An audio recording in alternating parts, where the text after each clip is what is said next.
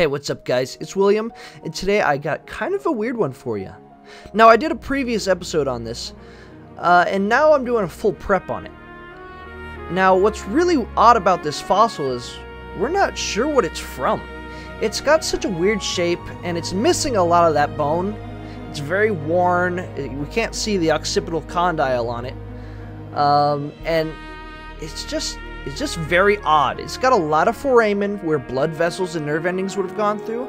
That little cavity in the center there is where the brain would have sat. Um, and it does have some bilateral symmetry to it. Um, you can see later on when I put some uh, Q-tips in it to show off kind of where, where that symmetry lies and see how much that bone we're missing. So I'm going to show you guys some photos of it after I'm done prepping it here. Um, and if you guys have any guess on what this could be, please, please let us know in the comments. We're still doing some studying on it. Uh, we're going to do some research, especially focused on the uh, the location of those uh, foramen and where they lead. That would give us a big clue on uh, on what kind of species this could be. Thanks, guys. See you next one.